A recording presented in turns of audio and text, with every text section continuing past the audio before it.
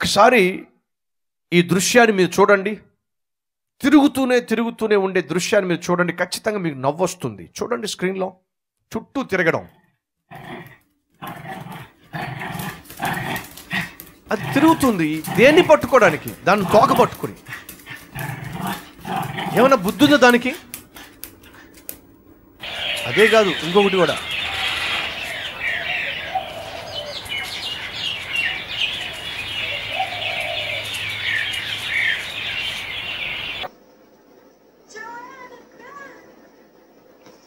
అది ఒక తోక కనిపించింది దానికి. ఇంకంతే. తిరగటమే ఇంకా. ఆ తోక పట్టుకుని తిరగటమే.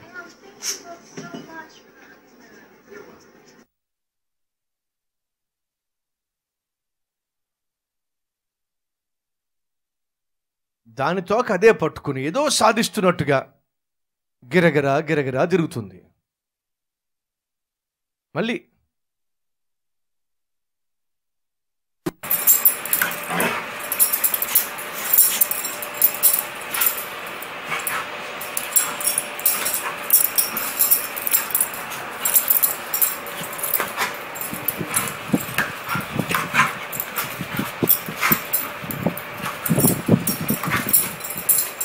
ఆ కుక్కలు చేయాల్సినవి చాలా ఉన్నాయి. ఏమీ చేయకుండా గిరగిరా తిరుగుతూ ఉన్నాయి. ఒక కుక్కను చూపించలా చాలా కుక్కలు చూపించాం. కారణం తెలుసా? ఇలా తిరిగేటటువంటి మనుషుల్లో కూడా లావుగా ఉండేవాళ్ళు ఉంటారు పొట్టిగా ఉండేవాళ్ళు ఉంటారు మీరు చూసారుగా పొట్టి కుక్కలు ఉన్నాయి నల్ల కుక్కలు ఉన్నాయి తెల్ల కుక్కలు ఉన్నాయి బండ కుక్కలు ఉన్నాయి బక్క కుక్కలు ఉన్నాయి ఇలా గిరగిరా తిరిగే వాళ్ళల్లో లావుగా ఉండేవాళ్ళు ఉంటారు సన్నగా ఉండేవాళ్ళు ఉంటారు ఎత్తైన వాళ్ళు ఉంటారు పొట్టోళ్ళు ఉంటారు. మరి ఇంతకు నువ్వెవరో నాకు తెలియదు కానీ తిరుగుతున్నావా? గిరగరా తిరుగుతున్నావా?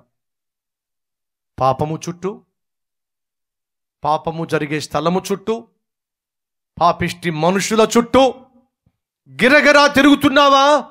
దేవుడు అంటున్నాడు చాలయ్యా తిరిగింది. నీకు బంగారు భవిష్యత్తు ఉంది. శ్రేష్టమైన భవిష్యత్తు నీ కోసం ఎదురు చూస్తుంది. ఇస్రాయిల్ను చూసి దేవుడు అంటున్నాడు ఏమిటర్రా మీరు? పాలు తేనెలు ప్రవహించే దేశాన్ని మీకు వాగ్దానం చేస్తే అటువంటి దేశాన్ని మీకోసం సిద్ధం చేస్తే పిచ్చోళ్ళలాగా ఇక్కడే తిరుగుతారేమిటి మీరు? ఎప్పుడు స్వతంత్రించుకుంటారు? ఎప్పుడు స్వాధీనపరుచుకుంటారు?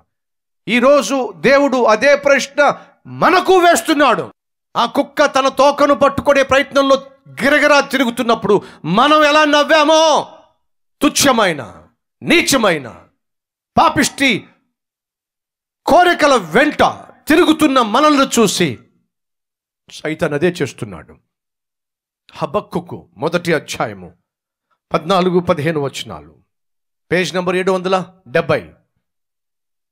ఏలికల్లేని చేపలతోనూ ప్రాకు పురుగులతోనూ నీవు నరులను సమానులుగా చేసితివి.